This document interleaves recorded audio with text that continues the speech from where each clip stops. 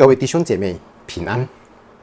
二十一年前所发生的九幺幺袭击，可算得上是一件轰动全球的事件。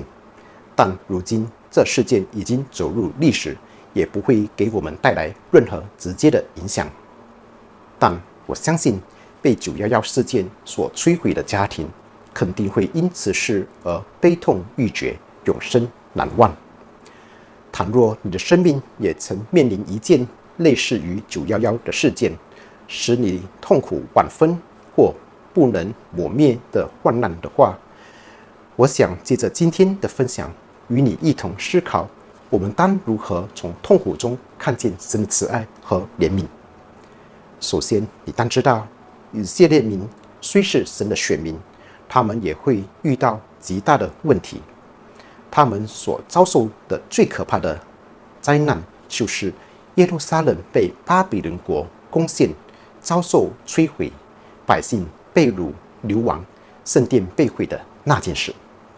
耶利米哀歌的主要内容，就是作者描述了耶路撒冷人在灭国之后所遭受到的痛苦与迷茫。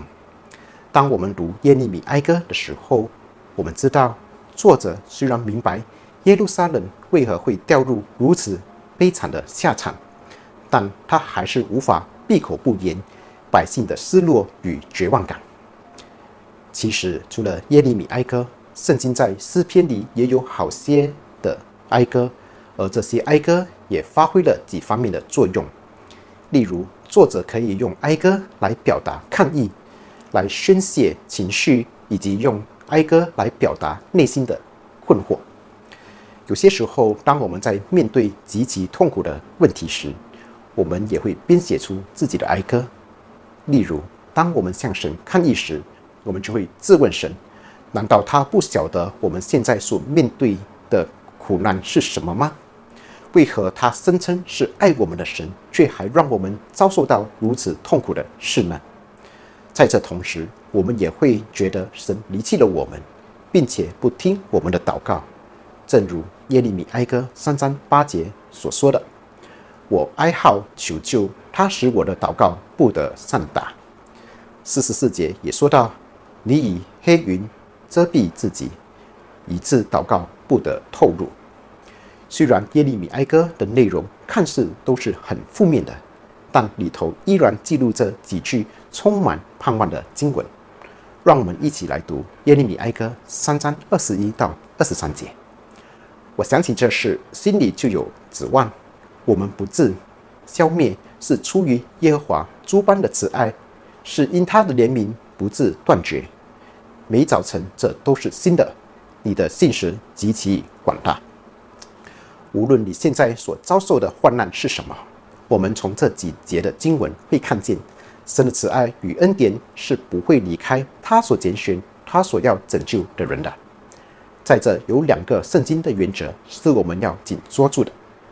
第一，就是我们都还活着，这意味着神依然有计划、有慈爱，也有恩典在你我的身上。如果神真的要处罚那群在当时候背逆神的百姓，他绝对可以马上将所有的人都致死。然而，神并没有消灭那群百姓，因为神坚守他与百姓所立的约。但同时，他也不会容许邪恶和罪任意存在着。第二，神诸般的慈爱和怜悯是不会断绝的，且是每天早晨都会更新的。这是一件何等值得我们感恩的事，因为这意味着，无论你昨天的情况是何等的糟糕，今天神将赐新鲜的慈爱与怜悯等候着你。无论你过去所犯的罪是多么的严重，你若认自己的罪，神是信实的，是公义的，必要赦免你的罪，洗净你一切的不义。无论你昨天被罪或试探给折磨得多么凄惨狼狈，你若等候耶和华，他必叫你重新得力，也能够忍受试探。由此可见，我们在患难中的确是能够发现。神不间断的恩典与慈爱的，或许在你们当中有像约伯一样的人，时常活在神的面前，以及在凡事上都对得起主。你有否发现，你现在所遭遇到的极大苦难，应该不是来自你的悖逆或过犯呢？换言之，如果你认为神目前让你经历的苦难有点说不过去，我现在要给你两个建议：第一，不要让你目前的苦难取代了你一向敬畏神、顺从神的心，因为哥林多后书四章十七节说到：“我们这自战至今的苦楚，要为我们成就极重无比、永远的荣耀。”另外，与其一直纠结要发现神许可苦难的理由，倒不如从神那里生出感恩的心。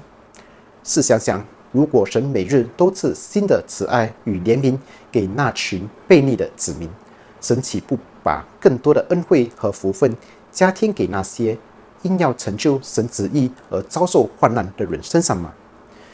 虽然苦难不容易胜过，但神的恩典绝对够用。所以我真盼望你在极大的患难中，真实的看见神的慈爱与怜悯，而从中得着祝福万民的见证。